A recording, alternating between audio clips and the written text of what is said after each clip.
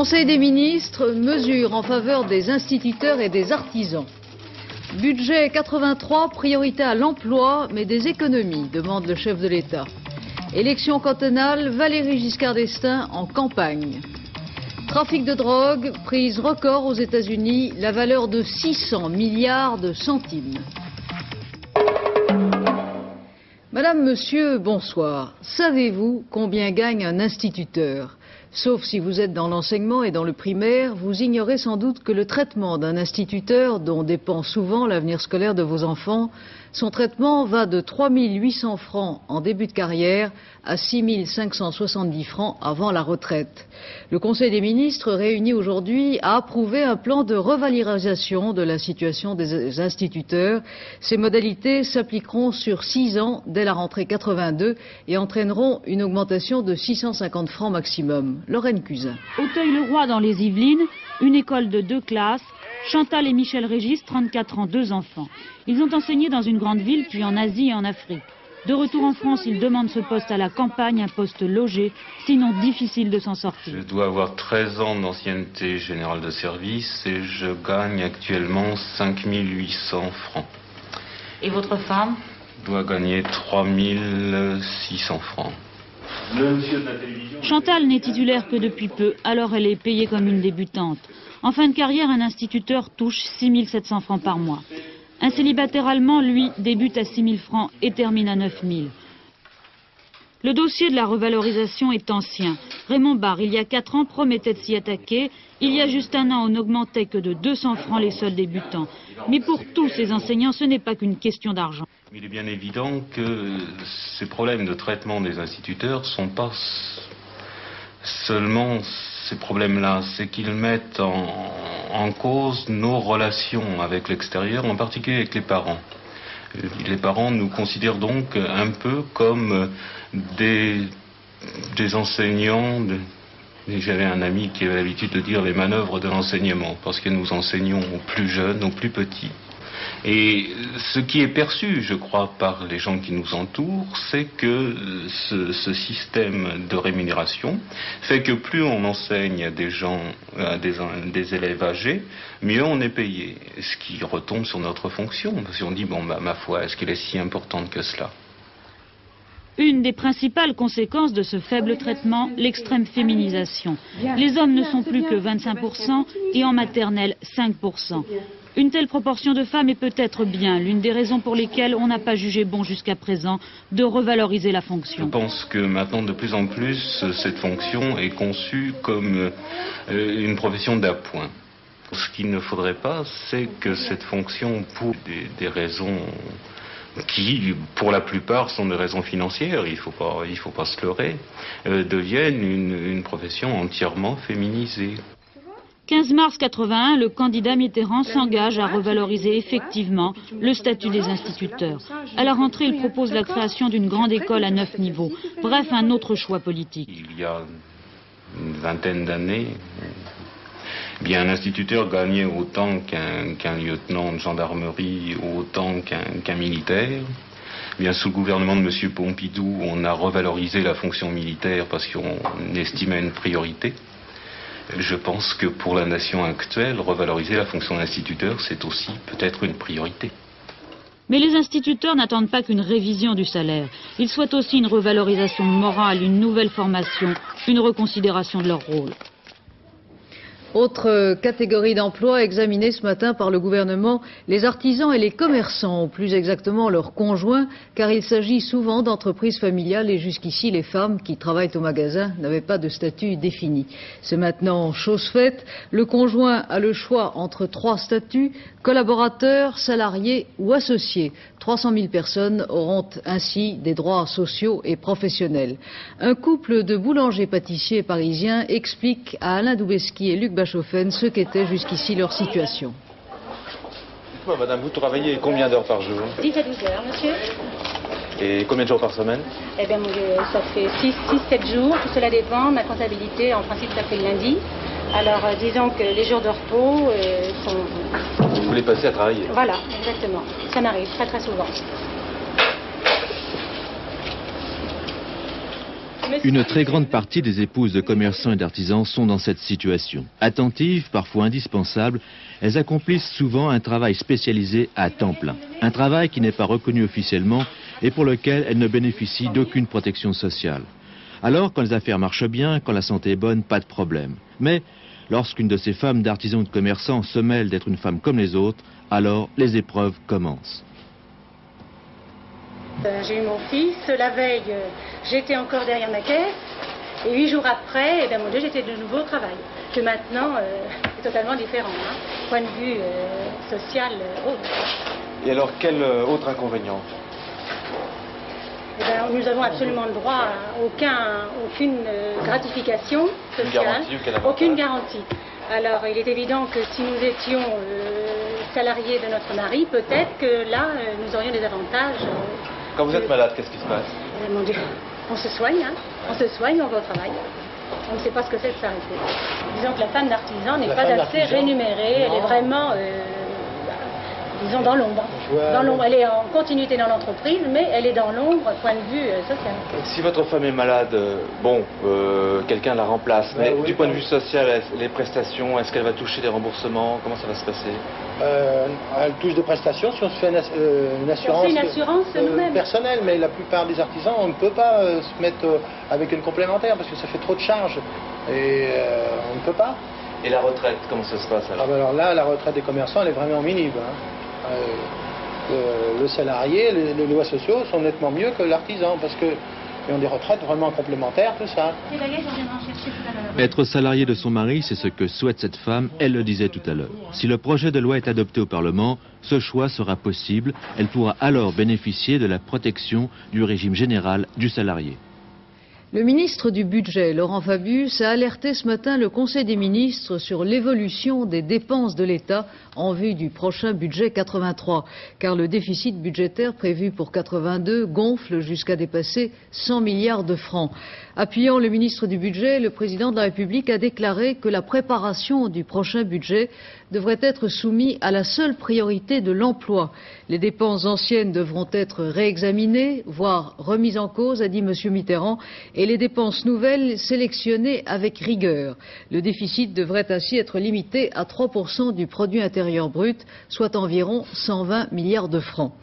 Priorité à l'emploi, mais sévères économies, il y a apparemment une certaine contradiction dans ces déclarations, Philippe oui, Christine. Oui, Christine, ce serait en effet contradictoire si le gouvernement ne faisait pas le choix suivant, dépenser plus d'argent pour certaines priorités comme l'emploi, mais faire des économies pour certains postes, c'est-à-dire maîtriser son train de vie. On en revient en fait à une certaine rigueur budgétaire, sans laquelle ni l'augmentation des prix, ni la croissance des impôts, ni la santé du franc ne pourraient être véritablement contrôlées. Cette année, le gouvernement a utilisé le déficit du budget pour faire de la relance économique, pour créer des emplois et pour améliorer les prestations sociales. il faut dire du reste que certains gouvernements étrangers ont choisi le même chemin. Mais si les dépenses de l'État augmentaient à la même allure l'an prochain, eh bien, le déficit du budget doublerait par rapport à celui de cette année et dépasserait 200 milliards. Pour boucher un tel trou, il faudrait soit augmenterait très fortement les impôts,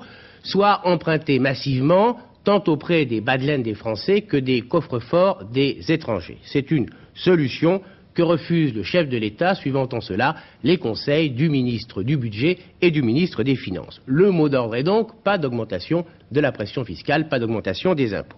Mais alors, si les impôts ne grossissent pas, il faut faire maigrir les dépenses, et c'est là une décision politique majeure qui n'ira pas sans faire grincer les dents des ministres que l'on appelle financiers. Premier litige, les dépenses sociales. Si on ne les finance pas par l'impôt, si on n'augmente pas trop fortement les cotisations sociales, eh il faut ralentir l'augmentation de ces dépenses sociales. Le problème sera évoqué dès mercredi prochain, il est de taille. En refusant cette véritable drogue qu'est le déficit budgétaire, le chef de l'État donne raison aux rigoristes que sont Laurent Fabius et Jacques Delors. En privilégiant pour 1983 l'emploi et la croissance économique, eh bien, il indique très clairement que les bénéfices de l'économie doivent servir au progrès social, que ce progrès social doit venir de ces bénéfices de l'économie et non pas du déficit du budget. En tout cas, Christine, ce ne sont pas des choix très faciles à faire.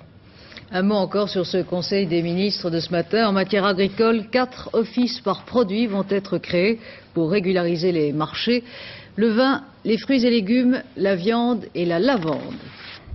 Déjeuner politique aujourd'hui à l'Élysée, le chef de l'État recevait l'état-major du Parti socialiste. Les dirigeants socialistes se seraient plaints du manque de concertation qu'ils constatent dans certaines décisions gouvernementales à l'approche des cantonales, par exemple les nouveaux prix des produits pétroliers.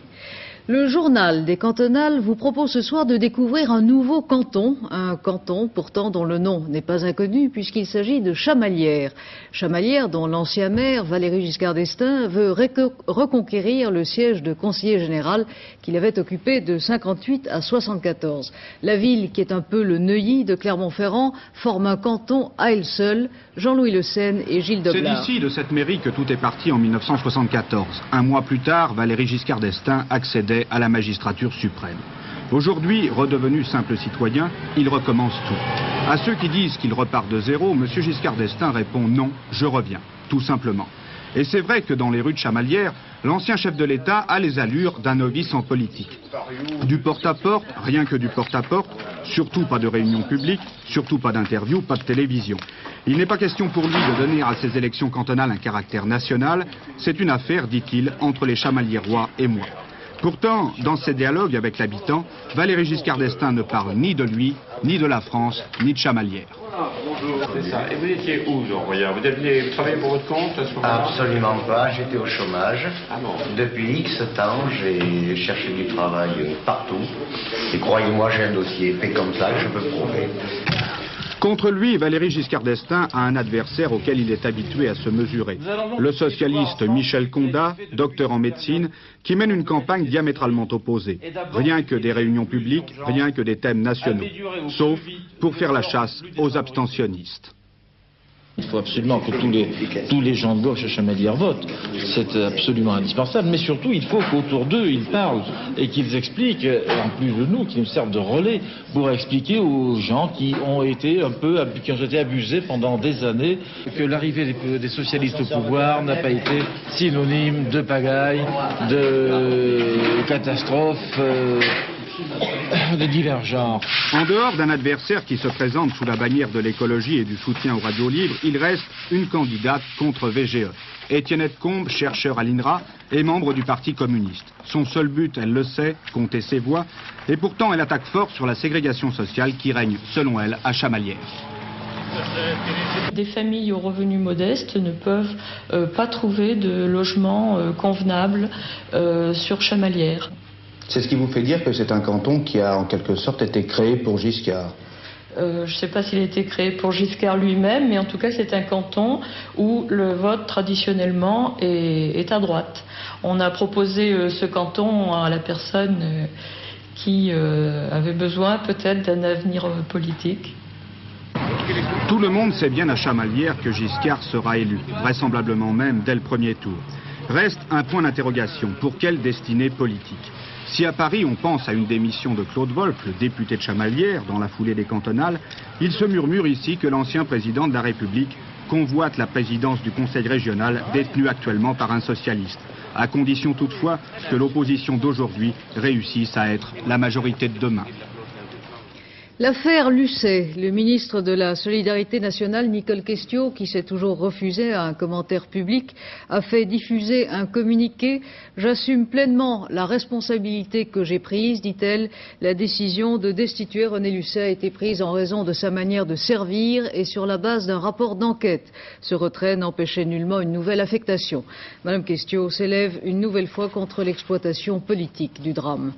L'affaire Lucet n'a pas été évoquée au cours de la rencontre Jospin-Bergeron ce matin. Les responsables du Parti socialiste et de Force ouvrière ont discuté de plusieurs problèmes, notamment la réduction du temps de travail. M. Bergeron a mis en garde contre une programmation trop rigoureuse. Les droits nouveaux des travailleurs ont été examinés par le Conseil économique et social, assemblée consultative à majorité conservatrice. Le vice-président du CNPF, Yvon Chotard, a mis une nouvelle fois en garde contre l'adoption intégrale du rapport Oro. Dans certaines entreprises, déjà, on essaye de définir de nouveaux rapports entre les salariés et la hiérarchie. C'est le cas de cette entreprise où Laurent Carenzo et Michel Alikoff ont mené leur enquête. À Dijon, au laboratoire de la Lande, on s'efforce depuis des années de développer l'expression des salariés. Les ouvrières qui fabriquent ampoules, capsules et comprimés ont leur mot à dire sur leurs conditions de travail. Horaires modulés, changements réguliers de poste, une manière de rompre un peu la monotonie. À l'origine de cette expérience, un directeur autodidacte qui a tiré les conclusions d'une grève difficile il y a dix ans. Je pense que pendant des décennies, on a négligé euh, notamment le, personnel ouvrier. On lui a demandé de, travailler, c'était l'héritage de Taylor, et on ne lui a pas permis de s'exprimer. Or, euh, il participe euh, pleinement à la production des entreprises, c'est l'associé principal au niveau de l'objet de l'entreprise, et il a beaucoup de choses à dire. Il ne faut surtout pas, au nom de, la crise actuelle, revenir en arrière. Euh, en France, c'est bien connu, euh, on n'a pas de pétrole. Euh, on dit qu'on a des idées, mais idées, il faut aller les chercher là où elles sont. Yves Bellier a diminué au maximum le nombre des petits chefs et des chefs qui font écran entre la direction et le personnel. Objectif, donner plus d'autonomie aux ouvrières, ou du moins essayer. On s'arrange pour que le travail n'en pas, les chefs. Et si votre collègue est en retard, qu'est-ce qui se passe Ce matin, on vient plus quelqu'un pour remplacer. Vous avez été consulté sur les, conditions de travail Ah oui, un petit peu. Est-ce que c'est moins dur qu'avant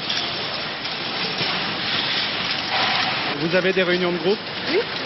Vous parlez de quoi dans ces groupes bah, C'est des réunions d'information sur le travail, sur euh, les programmes, les réunions de fin d'année.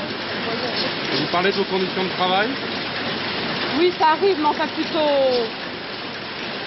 avec les chefs de groupe, avec... Euh, Alors, est-on véritablement autonome chez Delalande? Autonome euh, en partie.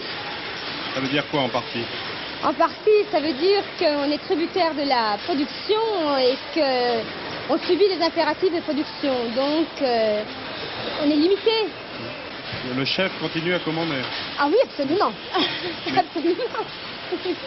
si vous entendez que chef euh, ça veut dire euh, autoritarisme et obligation euh, de répondre à cet autoritarisme, je crois pouvoir dire qu'il n'y a plus de chef chez Delalande.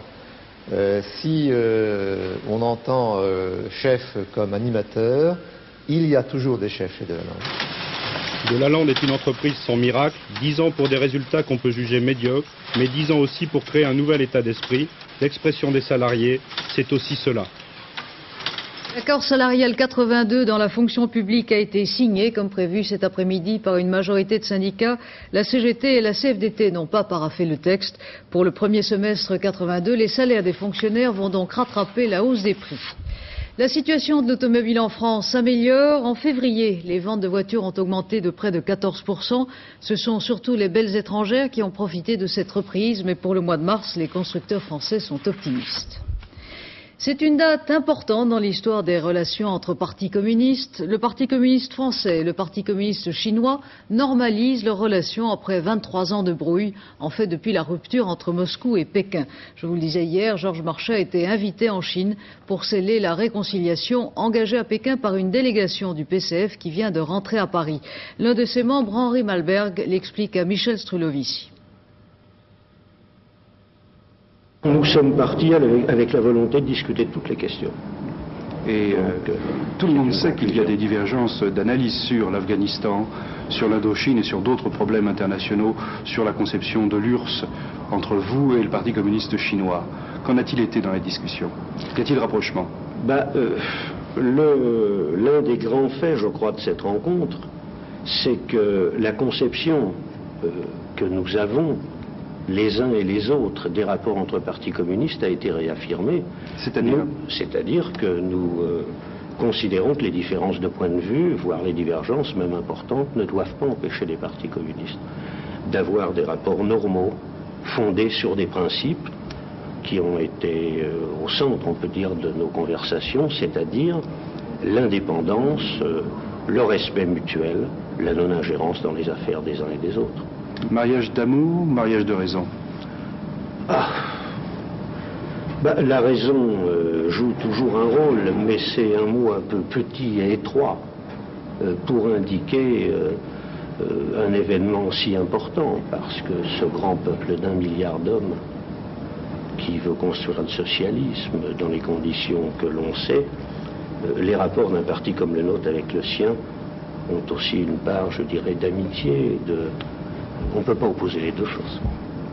Légère détente entre Paris et Bangui qui s'accordent aujourd'hui à dédramatiser la situation créée par Ange Patassé, l'opposant au régime centrafricain qui a pris refuge à l'ambassade de France. La France respectera le droit d'asile, a déclaré à son sujet le secrétaire général de l'Élysée. Paris négocie maintenant l'extradition de M. Patassé avec le régime de Bangui qui se défend d'avoir lancé un ultimatum. Sans mobile apparent, c'est le titre que l'on pourrait donner à une initiative du colonel Kadhafi qui montre une nouvelle fois son talent à prendre son monde au dépourvu.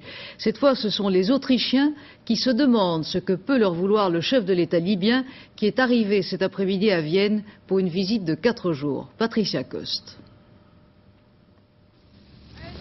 Le colonel Kadhafi, son fils et 22 autres personnes de son entourage passeront quatre jours en Autriche une visite officielle entourée du plus grand mystère.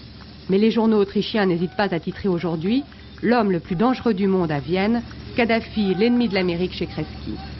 Accueilli à l'aéroport par le chancelier autrichien et par ses compatriotes au cri de Dieu est grand, le chef de l'État libyen a fait aujourd'hui sa rentrée sur la scène occidentale de laquelle il était absent depuis plusieurs années, en fait depuis 1973.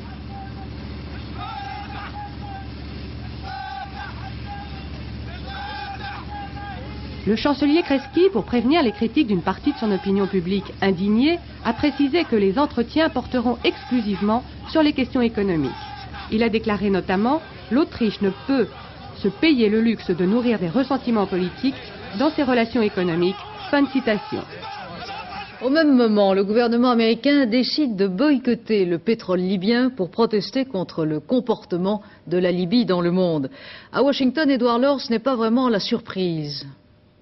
Écoutez Christine, l'annonce de ce boycottage n'est pas vraiment une surprise ici à Washington dans la mesure où les responsables du département d'État avaient annoncé il y a à peu près une semaine que les États-Unis étaient effectivement prêts à boycotter le pétrole libyen. Ce qui est peut-être plus surprenant, c'est qu'on l'a appris il y a quelques instants, au moment précisément où le colonel Kadhafi se trouve en Autriche. Et il se trouve que la Maison Blanche, hier, a très mal pris l'annonce de cette visite officielle d'un homme que l'on considère comme l'ennemi public, entre guillemets, des États-Unis euh, dans un pays considéré jusqu'ici comme l'un des plus fidèles alliés. 600 milliards de centimes, plus d'une tonne et demie de cocaïne dans l'histoire des douanes américaines. C'est une saisie sans précédent qui a eu lieu à Miami au cours d'un simple contrôle de routine d'un avion colombien. C'est vraiment l'image du jour. Gérard Rinet. C'est en plantant un tournevis dans un de ces cartons, il y en avait 22 en tout, que les inspecteurs des douanes de Miami ont réalisé la plus importante saisie de drogue jamais réussie aux États-Unis. 1600 kilos de cocaïne, une valeur marchande de plus de 6 milliards de francs. Pour les policiers, rien d'étonnant dans cette saisie. Depuis des mois, la neige, comme ils l'appellent, fait rage aux États-Unis. Elle est en train de devenir l'une des principales drogues. Extraite de feuilles de coca, elle est produite principalement au Pérou, en Bolivie et en Colombie. Il faut 500 kilos de feuilles comme celle-ci pour faire 1 kg de cocaïne. Prix au détail ici en France, 5 à 600 francs le gramme, soit 5 fois le prix de l'or. Si une grande partie du trafic était jusqu'à présent limitée à l'Amérique du Sud, depuis quelque temps, le marché a complètement éclaté. La cocaïne a fait son apparition en force en Europe via les États-Unis. Le phénomène touche même aujourd'hui l'Afrique. À Roissy, et à Orly, les prises sont de plus en plus nombreuses. 96 kilos saisis en 1978, 400 kilos en 1980. Des chiffres qui, comme le souligne l'organe de contrôle des stupéfiants de l'ONU, marquent la plus forte progression enregistrée depuis 17 ans en matière de trafic et de consommation. Fusillade entre malfaiteurs et policiers cet après-midi à Boulogne-Billancourt. Une employée de la Société Générale prise en otage a succombé à ses blessures. Deux malfaiteurs blessés ont été arrêtés. La disparition de la petite Valérie à Laluc dans les Landes. Les gendarmes continuent d'enquêter après cinq jours de recherche. Un habitant du village est gardé à vue. On peut faire de la prose sans le savoir et faire du cinéma avec les grands classiques. C'est le pari de Roger Coggio qui, après les fourberies de Scapin, vient de mettre en scène un autre chef-d'œuvre de Molière, le bourgeois gentilhomme. Ce bourgeois-là, que vous pouvez voir en ce moment au cinéma, reste pour beaucoup d'entre nous un souvenir de classe, de petit classique Larousse et au mieux de comédie française. Comment est-ce que des écoliers d'aujourd'hui réagissent au film de Roger Coggio? Yoba Grégoire et Jean-Louis Bousser sont allés s'en rendre compte dans un CES de Boulogne-Billancourt. Ça fait trois siècles qu'on assassine Molière, trois siècles, parce qu'on le réduit à la seule dimension de gosse entre 5 et 12 ans. Alors que, ou 14 ans, les devoirs qu'on vous donne, comparez en quoi la scène du 2 dans son comique est plus signifiante que la scène du 3. C'est une aberration, et il est temps qu'on le dise. Parce que même Molière ne savait pas, quand il écrivait, ce qui allait plus ou moins faire rire. Tout ce qui n'est point prose est vert, et tout ce qui n'est point vert est prose. Et comme l'on parle, qu'est-ce que c'est donc que cela Et de la prose. Quoi? Quand je dis, Nicole, apportez-moi mes pantoufles et me donnez mon bonnet de nuit, c'est de la prose? Oui, monsieur. Par ma foi, il y a plus de 40 ans que j'ai dit de la prose, sans que j'en susse rien. À mon avis, euh, la pièce de théâtre étudiée à l'école euh, n'est pas du tout la même que celle qu'on voit euh, dans ce film. À l'école, M. Jourdain est seulement un ridicule, et, bien ridicule, alors que dans le film, il est aussi sensible. Et on voit mieux dans le film qu'il désire ardemment avoir la culture et la noblesse. Tandis que dans la pièce, quand on étudie à l'école, on, on voit plutôt le côté de l'argent et la noblesse. On ne comprend pas l'intermédiaire de la culture dans son La désir. bouche fait justement comme un petit rond qui représente un O. Oh, oh, oh, vous avez raison. Oh, ah, la belle chose que de savoir quelque chose. Le cinéma permet d'avoir un personnage, son regard, son expression, pendant qu'un autre fait autre chose. Ça permet d'apporter quelque chose en plus. Euh, le film m'a plu parce que par rapport à une pièce de théâtre, euh, les personnages se, se promènent à travers les pièces, ils, vont, ils sortent dans la rue, euh, c'est gai, enfin. Ça se rapproche à notre époque, même si cette époque est assez éloignée, les costumes sont différents, euh, le comportement des personnages aussi. Le bourgeois gentilhomme, il m'a pas seulement fait rire. Ça m'a fait penser que vraiment il y a des gens euh, qui essayent d'être quelque chose et n'y arrivent pas toujours et c'est peut-être grave, hein, c'est pas, c'est pas tellement la- comique. hein. Et c'est la façon dont vous l'aviez appris en classe? Oh non, on avait trouvé ça comique, c'était c'était amusant, euh, il était ridicule, ça me pensait tout. hein. Molière se cache derrière la farce pour dire les choses les plus irrespectueuses, les plus révolutionnaires avant la lettre, où il annonce 1789. hein, le bourgeois gentilhomme se termine par le ballet des nations. Il n'est plus question de royaume, mais de nation. Les championnats du monde de patinage artistique se déroulent en ce moment à Copenhague. Le Français Jean-Christophe Simon, qui avait pourtant bien commencé hier, a été moins brillant aujourd'hui. Vous allez le voir, il n'a pas pu éviter la chute.